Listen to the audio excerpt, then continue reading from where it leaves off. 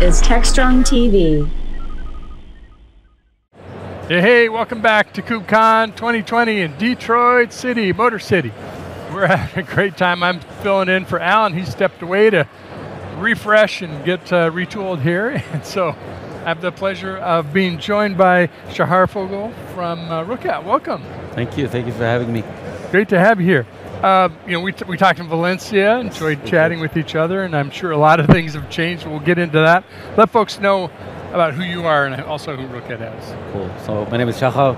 I'm the CEO of Rookout. Uh, basically, what we do is uh, developed a, a platform for developer first observability, basically giving observability capabilities to developers in the way and in the places they're used to getting their data from and enabling them to solve issues much faster to understand what's going on in their remote environments in a click of a button without the need to write code, without redeployment, and even in production. So actually solving production uh, issues much faster around five times faster than they can today, and uh, you know, giving them, reducing the, the frustration of, of debugging or, or issue resolution for engineers themselves. Of shift left for observability, exactly, all the way exactly. right to production. Yeah, and every, eventually, you know, everyone is telling the story. You know, even the bigger players that are uh, have built uh, great products for ops people. You know, they know that their growth engines are the developers shift left, and everyone's talking about it. Uh, is driving adoption within organizations, uh, both decisions and usage.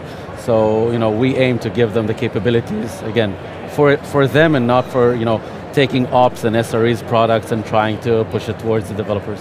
Yeah, it's kind of a big thing to try to bolt on to a developer's uh, IDE or development environment. Uh, you know, nothing is easy, yeah, that's why we're here, yeah. So, so tell me a little bit about um, what's different about observability when you're early in the software process from a developer's perspective. What do they want that maybe not as important when you're all the way in production, or what are the commonalities? So I think it's very much related to, to the cloud native world. You know, cloud native has kind of changed the world, the way you, you manage software, the way you distribute, the way you monitor and, and, and do everything around that. But eventually kind of engineers have been left behind and, and, and the change that, uh, that happened in industry is also you know, the way that software is being developed has been changed, not only maintained. So the engineers in their day-to-day, -day, you know, the notion of it works on my machine is dead. Uh, even throughout the software development lifecycle, they are operating in remote environments and you know, dev, QA, staging, wherever they are, uh, where they have their Kubernetes clusters or you know, containers, serverless, whatever, and they have kind of similar challenges to production there. They really have to redeploy every time they want to test something, if they want to add new logs or metrics or traces, it's redeployment, redeployment. It's not only compiling and checking it on their own machine. Uh, so that's kind of you know, what we've seen over the last uh, few years that uh, that the, the challenges and their day-to-day -day on what they're spending time and where's their kind of bottlenecks in, in their operation has changed and this is kind of what we aim to help them with. Yeah, it's uh, probably not the best solution to run Prometheus in your dev environment and try to do distributed tracing and figure out what's happening. Yeah, that's that's difficult. That's a, difficult a little bit of a heavyweight. I mean, a great solution yeah. uh, for other environments. Well, tell us a little bit. I know you had some analysis before KubeCon. Tell us what's happening. Yeah. So basically, you know, what, we always aim to do is to shift left and to give developers uh, the um, both the data they need in terms of more, you know, we have the live debugger, we have the live logger, we're adding metrics and, and all sorts of capability in terms of what we give them, but also the how. And the how is very important and we've seen it, uh, we can talk about it in a second, but we've seen it that developers, you know, we have our web ID that, you know, is a full platform, you know, we can do everything in terms of real estate within the browser, but uh, sometimes developers, as we know, developers likes to consume products in various different ways. Mm. Uh, so we have, of course, our web UI, and we've just released our ID plugin for uh, the IntelliJ family, so uh, for the JetBrains family, so IntelliJ and, GoLand and, and, and these types of uh, IDEs that will enable them to, to use and consume Rookout from within the IDE, so putting the non-breaking breakpoints there, whether it's production all the way to the end, you know, you can, uh, you can instrument production uh, directly from your ID, uh, but also, through, as I mentioned before, also throughout the software development lifecycle. So, you know, even if you have your dev environment, which is uh, distributed and it's, it's not that far, but it's half far, and the deployment time is not three hours, but 20 minutes. Every time you have to add a new log line, it's 20 minutes going to have a coffee, 20 minutes going to talk to your friend. So this is, you know, you're using Rookout, you don't have to redeploy all the time. You just press the button, within a millisecond you can add the log or the metric that you want, and you know, that's kind of the more of the productivity play. You know, the velocity of development, the quality of development, the, their ability to, uh, to leverage the new types of infrastructure that exists out there, uh, but not feeling the pains that it brings with it for them. Yeah, very familiar with uh, Jet Brainson and the Intella J, et cetera, yeah. PyCharm, all the exactly. other uh, uh IDE environments. It seems like, I mean, the more you can make a tool operate in the way that developers already familiar with, you know, they know they know how to do, you know, stops and steps through code and do testing exactly. within their IDEs and their local environment.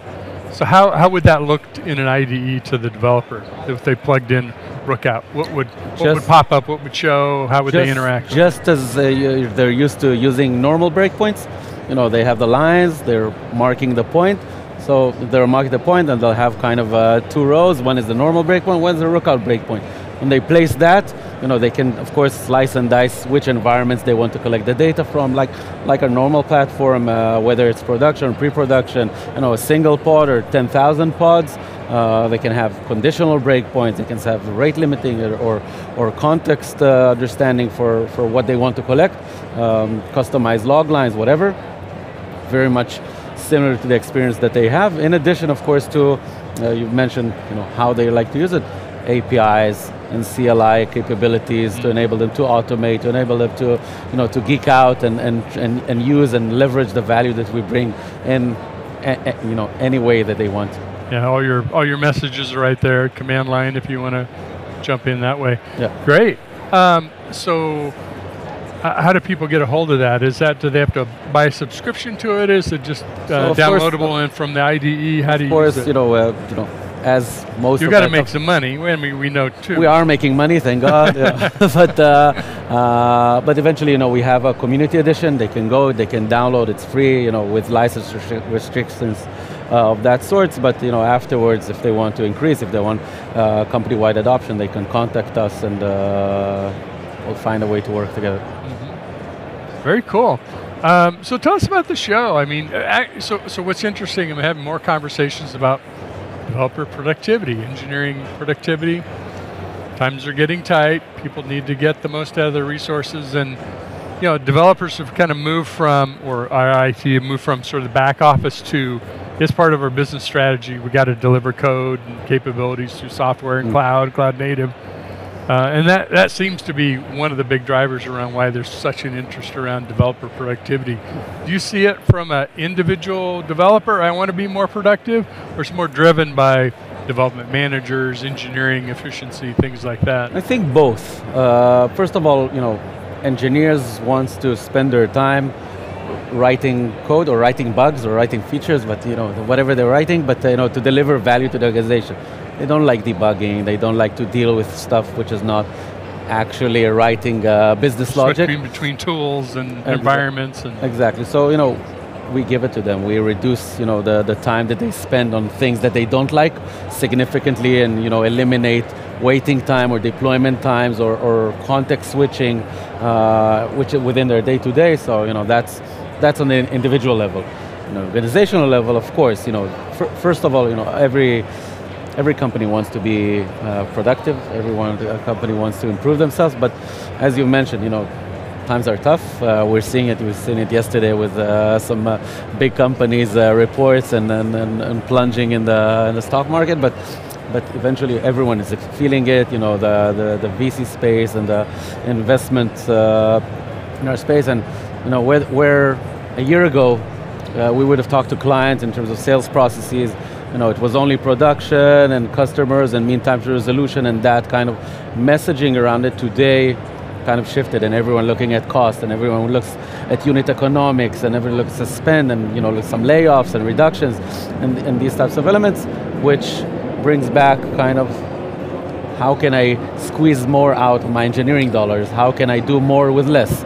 Uh, which is kind of the, the goggles for the engineering managers or the higher up management, uh, uh which is kind of, in addition, of course, to the production value, which is always there for Rookout, you know, we enable them, you know, on a scale, you save an engineer an hour a day or two hours a day times X amount of engineers, that, uh, you know, that can multiply to a huge Okay. amount. And you know, in the past, as when you know money was cheap uh, last year, or you know what happened happened in the market. You know, you wanted more out of your engineering team. You throw three, four more people uh, to the fire, and uh, you'll get it. Today, it's not like that. Today, it's like It's hard to find those people, right? I mean, you can, but it's, it's hard to find and it's hard to pay.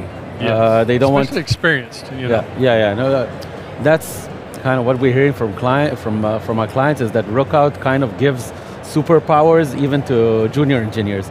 So you know, the all the the older or the more experienced engineers, you know, they know what they're doing. They know how the co- code looks. They know how uh, the application is behaving. Someone new joins, and he has no idea. And you know, just by reading the code, you know, he can't understand anything. So we give him the ability to you know sit with Rookout, you know, kind of debug or understand what's going on in production, in real production, not staging, not uh, uh, simulations of the application in closer environments. You know, it's like reducing the, the ramp up time uh, super significant. Now the uh, plugin for IDs that's available today. Available? On our Very website, cool. I'll have to stop by and see it. Sounds pretty cool. I'll run over and take a look. well, good. You know, it, it's interesting. You know, since Valencia, a lot more people have been more comfortable coming out. I think. I mean, even Valencia, it was well attended, and it was great to see so many developers, t-shirts, backpacks, people walking around. swag bags. That's my people. Hey, But- and here, you know, also too, really well attended. It seems like people are taking more time to have deeper conversations Yeah. when they're coming by booths or stopping in here. Um, I, I think right now is sort of the time to stand and deliver. We got to we got to ship code, right? We moved to the cloud. We invested in cloud native. We've done these things. You know, when Now we have to live with it. Tough. Now we have to live with it, you know, Yeah. to maintain it, to continue develop uh, new features, to, you know, to, um, a lot of big enterprises needs to modernize themselves, a lot of new challenges uh, out there. Very cool. Well, hope you continue to have a good show. Thank you. Uh, great to talk with you again, Shahar, and uh, good luck with the rest of KubeCon, and maybe we'll see you in Amsterdam or whatever the next. April, right? yes, April. Yeah. we're trying to figure out logistics already. How we're going to do that another show. We'll figure it out. So we'll get there. All right, man. Thank you very much. Hey, thanks for stopping by. Cheers. Uh, be sure to check them out. You can go to rookout.com or io.com. Hong Kong. Okay, perfect. Yeah, definitely check it out.